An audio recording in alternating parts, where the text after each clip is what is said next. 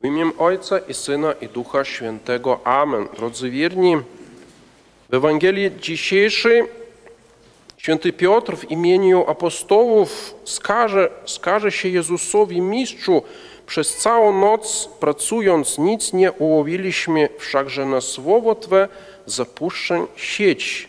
I już w XVII wieku stwierdził słynny kaznodzieja ojciec Binet, że Bractwo niezadowolonych jest najliczniejszym zrzeczeniem świata, największą organizacją świata. I dziś może każdy to potwierdzić, tym bardziej im więcej różnych kłopotów spada na ludzi współczesnych, upadających pod ciężarem różnych kryzysów, konfliktów, epidemii itd. Oczeramy się ciągle o ludzi niezadowolonych, członków wspomnianego bractwa niezadowolonych i apostołowie nie należeli do takiego bractwa. Nie czuć w ich słowach narzekania albo złości, albo niechęci do tej pracy, mimo że całą noc tak bardzo się trudzili, już wprost ponad siły. A przecież byli to doświadczeni rybacy, wybrali najodpowiedniejszą porę do połowu. Po ludzku mówiąc, mieli wszystkie warunki do tego, by po pracowitej nocy oglądać piękny plon połowu i wyczerpani fizycznie chętnie zapuszczają sieci na nowo na słowo zachęty ze strony Pana Jezusa, który już miał właśnie taki autorytet. Ileż podziwu godnej ufności jest w tych prostych słowach na słowo Twe zapuszczę sieć. Nie jesteś rybakiem, jesteś synem cieśla, ale na słowo Twe zapuszczę sieć. Zamiast słów skargi, narzekania, na usta świętego Piotra wypływa z głębi jego serca akt ufności, dziecięce oddanie się Panu Bogu. Zastanowimy się na tym, po pierwsze, jak oceniamy w ogóle nasze niepowodzenie, czy ta ocena jest należyta, a po drugie, jaki musi być jakich zasad musimy się trzymać, by uniknąć tych niepowodzeń. Po pierwsze, jak oceniamy niepowodzenie, te niepowodzenie tu na ziemi to stałe echo bardzo wielu naszych poczynań. Trzeba przyznać, że poza pewnymi niepowodzeniami, które są po prostu dopustem Bożym, a zrządzeniem jakichś wyroków opatrzności, bardzo wiele niepowodzeń ma swoje źródło w nas samych. Po pierwsze, najpierw to jest taki zły początek. Jak zaczynamy swoje prace? Stare to i wypróbowane przysłowie, że połowy dzieła dokonał ten, kto dobrze zaczął. U nas bardzo często przychodzą niepowodzenie, bo po prostu źle zaczynamy. Zdaje się niejednemu z nas, że odpowiedni rozmach i zapał, który wnosimy w naszą pracę na początek, zapewni nam powodzenie. Wmawiamy w siebie, że podołamy wszystkiemu. Nieszczęście i niepostrzeżenie zakrada się, wtedy pycha, która podgryza rozpoczęte dzieło. Bóg, który pysznym się sprzeciwia, a pokornym łaską daje, jak pisze święty Piotr, odsuwa się od nas, zostawia nas samym sobie, co jest zwyczajnie zapowiedzią czekającego nas nieszczęścia.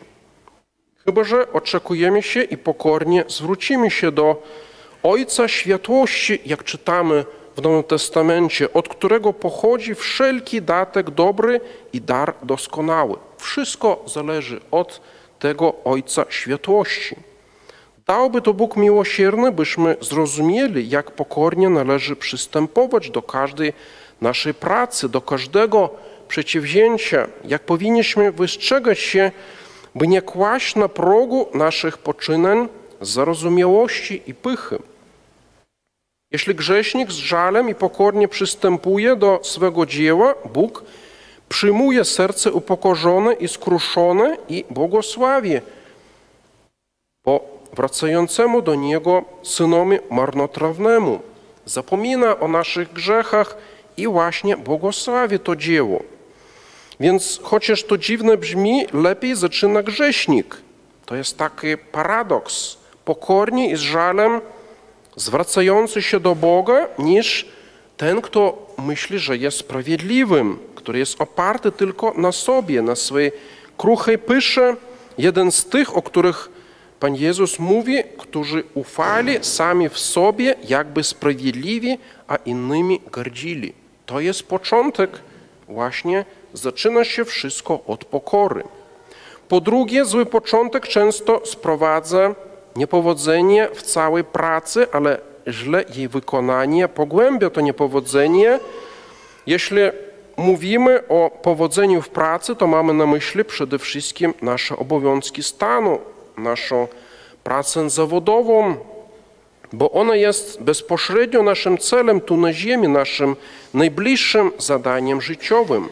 Jakże jednak ustosunkowują się ludzie do swych prac zawodowych? Iluż mamy takich, co wszystkim innym chętnie się zajmują niż swoimi obowiązkami stanu. Są to ci, co najczęściej są nieobecni na posterunku, który im Pan Bóg wyznaczył, albo na początku chętnie pracują, a potem myślą, a to jest tylko na zarobienie pieniędzy, to nie ma sensu, to jakaś taka monotonna, automatyczna praca, wszystko nic nowego, wszystko wi wiadomo i wtedy są nieobecni na posterunku e, w sensie nadprzyrodzonym, religijnym.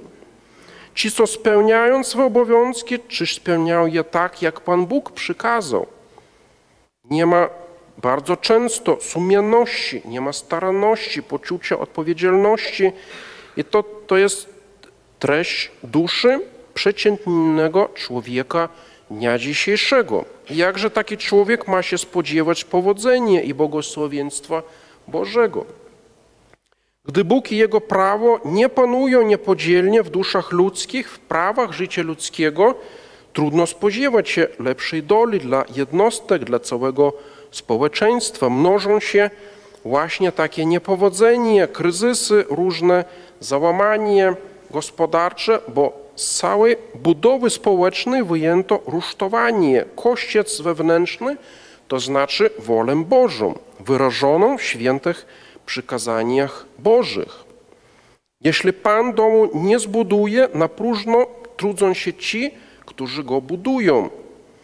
I to są e, słowa psalmisty pańskiego i właśnie o to chodzi. Nadprzyrodzona intencja w naszych obowiązkach codziennych i zawodowych.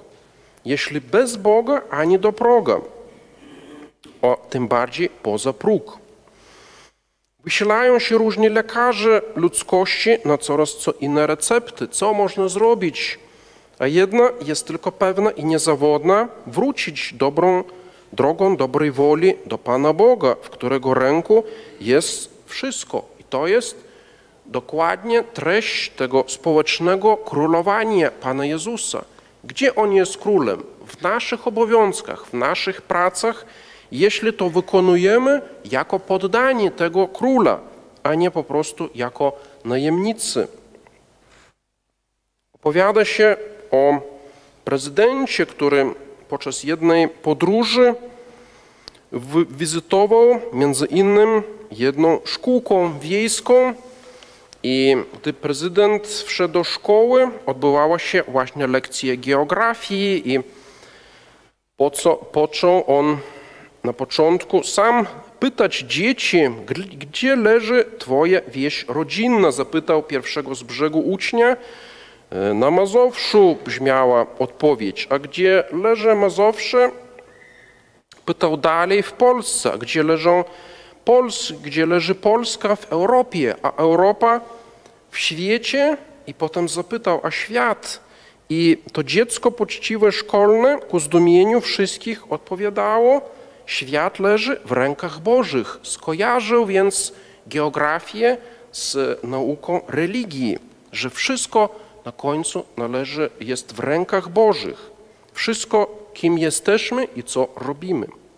Abyśmy zrozumieli tę prostą prawdę katechizmową, wszystkie nasze sprawy, poczynania ziemskie mają zmierzać do Boga, kierować się Bożym prawem, by ta ręka Boża, błogosławiąca, spoczęła na nich wszystkich. Trzecim źródłem niepowodzeń jest zły cel na końcu, do czego zmierzamy. Naturalnym i nadprzyrodzonym celem człowieka jest Bóg. I do Niego winni, winny zmierzać wszystkie myśli, uczucia, czynności człowieka, jeśli wolno tak się wyrazić, siłą prawa przyciągnięcia, taka grawitacja Boża. Tymczasem widzimy, że ludzie w rzeczywistości w najlepszym razie tylko teoretycznie uznają ten cel najwyższy, jedyny, praktycznie wyznaczają sobie cele znacznie bliższe i przyziemne. I wtedy egoizm, pożytek własny, korzyść, jakaś kariera, majątek, sława to są przecież cele główne i poruszające ludzi. I uczestniczymy w rekolekcjach ignacjańskich. Pierwszy punkt rekolekcji cel, do czego zmierzamy. Chwała Pana Boga. Ale wrócimy z rekolekcji do domu i znowu bezpośrednia cel to moja kariera, mój majątek, moja sława, moje bezpieczeństwo i tak dalej. Gdybyśmy ich zatrzymali na chwilę w gonitwie na tymi właśnie celami, zapytali, czy to tą drogą zmierzają do prawdziwego celu wszystkich stworzeń, do Boga, przyjęliby na pewno nasze pytanie z, ze zdumieniem. Nawet nie myślimy o tym, po prostu robimy jak zwykle, jak wszyscy ludzie. A jednak pytanie to jest jedynym pytaniem godnym zastanowienia, nie tylko na dziś czy jutro, ale na całą wieczność. Pan Jezus ujął to pytanie e, w znaną formułę, cóż pomoże człowiekowi, choćby cały świat posiadał, a na duszy swej szkodą poniósł. To musi być myśl przy każdej e, pracy, nawet najbardziej przyziemnej. Pytanie to w tej właśnie formie stawiali sobie na różny sposób święty Franciszek z Asyżu, święty Ignacy Loyola, święty Alfons Liguori, wielu innych świętych. Co jest, cóż pomoże moje stanowisko? Święty Alfons był wielkim prawnikiem. Cóż to pomoże mnie, jeśli na mojej duszy będzie jakaś szkoda? Co jest największą chwałę Bożą? Co jest największe dobro Kościoła? Zamiast narzekać i biadać na niepowodzenie, wglądajmy raczej choć na serio i poważnie w to, jakie cele kierują nami i naszymi przedsięwzięciami. Jeśli zły cel, to nic dziwnego, że jest niepowodzeniem. I teraz drugie, drugie pytanie. Zrozumiamy nasz interes własny, dobrze zrozumiane nasze szczęście osobiste, naprowadzają nas na konieczność oglądnięcie się za środkami, które by nam zapewniły powodzenie. I drogi to powodzenie oglądać będziemy w duchu wiary właśnie w Ewangelii dzisiejszej. Po pierwsze, to jest zaufanie Panu Bogu, po drugie, duch posłuszeństwa i po trzecie, czysta intencja. Najpierw ufność w Panu Bogu.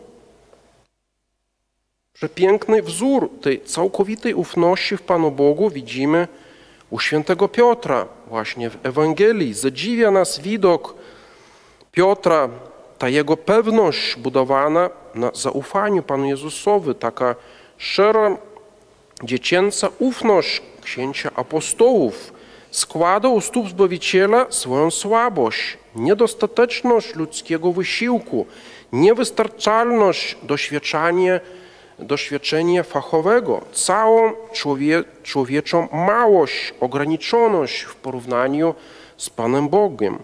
I taka ufność nie mogła pozostać bez nagrody.